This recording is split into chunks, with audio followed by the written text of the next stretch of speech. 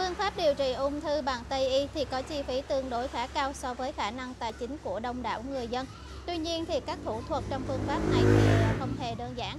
Hóa trị và xạ trị trong quá trình điều trị ung thư thì gây ra nhiều tác dụng phụ cho cơ thể, gây ảnh hưởng xấu đến chức năng gan, làm suy giảm sức đề kháng của hệ miễn dịch.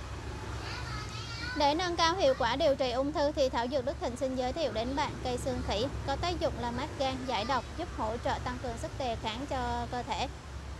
Cây xương khỉ là một loại thảo dược nổi tiếng ở các nước như là Thái Lan, Malaysia, Trung Quốc. Tuy nhiên thì ở Việt Nam, cây xương khỉ mới được à, phát hiện và sử dụng để làm dược liệu.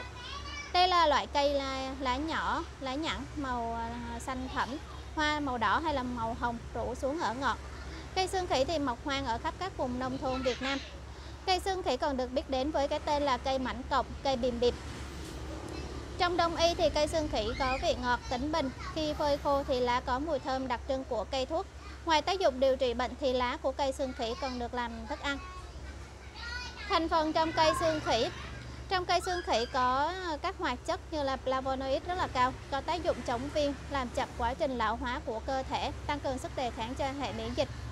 Ngoài chất flavonoid cao thì hàm lượng canxi cũng là một thành phần chính trong cây xương khỉ, góp phần củng cố hệ à, vững chắc cho hệ xương khớp, ngăn ngừa sự đau của các khớp.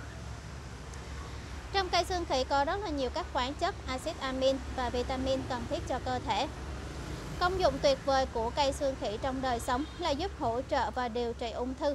Các hoạt chất có trong cây xương khỉ góp phần không nhỏ trong quá trình à, hóa trị và xạ trị, đảm bảo vô trùng cho cơ thể, ngăn ngừa các tác dụng phụ gây ảnh hưởng xấu đến gan và thận, giúp hỗ trợ các bệnh lý về gan như là viêm gan, sơ gan, men gan cao, thải độc gan, tăng cường à, chức năng của hệ bài tiết, tốt cho những người vàng da, gầy yếu, hỗ trợ điều trị phong thấp, đau nhức xương khớp, nhanh chóng phục hồi à, vết thương ở xương, hỗ trợ điều trị các khối u như là u bướu, đặc biệt là khối u lành tính.